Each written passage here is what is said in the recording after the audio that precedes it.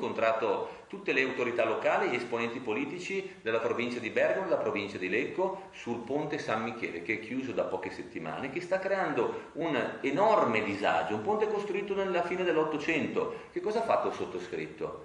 Ha nominato già nel decreto emergenza un commissario che agirà con poteri anche lì eh, straordinari per velocizzare l'iter progettuale e per permettere ai cittadini migliaia tutti i giorni che si spostano magari andando verso Milano di tornare ad avere una vita normale da pendolare. Ad annunciarlo è stato lo stesso ministro alle infrastrutture Danilo Toninelli in diretta Facebook, nominato un commissario per la messa in sicurezza del ponte San Michele che collega le sponde di Paderno d'Adde e Calusco, chiuso da quasi un mese perché a rischio crollo. A chi sia stato affidato l'incarico al momento resta un mistero, l'ipotesi più plausibile è che si tratti di un dirigente delle ferrovie, probabilmente lo stesso amministratore delegato Maurizio Gentile. Il commissario agirà con poteri straordinari per velocizzare gli iter progettuali, ha sottolineato il ministro accogliendo la richiesta dei parlamentari parlamentari delle province di Lecco e Bergamo che avevano presentato un emendamento proprio al decreto Genova. La notizia è stata accolta con un plauso dall'assessore regionale alle infrastrutture. Sono lieta del fatto che il ministro Toninelli abbia raccolto l'istanza che io e parlamentari della maggioranza di governo gli abbiamo sottoposto durante l'incontro di martedì al Ministero, ha commentato Claudia Maria Terzi.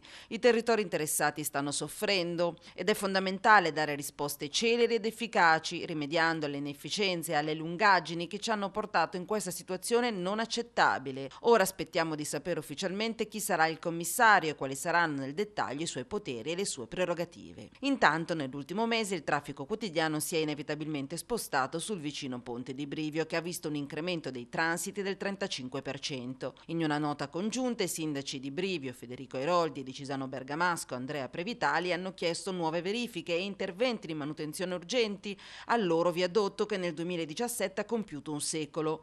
Sollecitati ulteriori limiti di carico e divieti di transito ai veicoli più pesanti insieme a verifiche più serrate da parte degli agenti della Polstrada perché venga rispettato il blocco dei mezzi superiori alle 56 tonnellate e l'obbligo di mantenere una distanza minima di 50 metri l'uno dall'altro. Chiesta infine la sistemazione delle strade comunali che si stanno rapidamente deteriorando a causa dell'aumento del traffico.